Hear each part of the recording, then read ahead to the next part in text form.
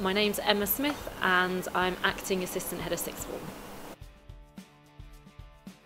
And we realised that lots of students were going outside of school to get their food and drink and we thought actually why can't we put something in place just for sixth form only um, which would encourage them to stay on site but also give them a bit of independence of their own canteen, their own food space.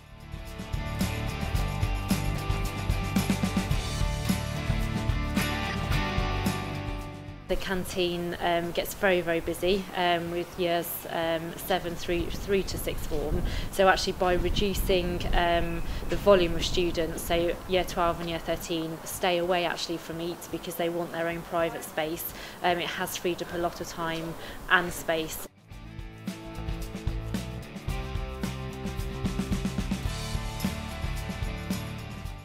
And the, the good thing about it is that they can actually use it throughout the day. So they're using it from, you know, kind of 8.45 through to 2 p.m. So when they haven't got lessons, they can access um, a hot drink and food.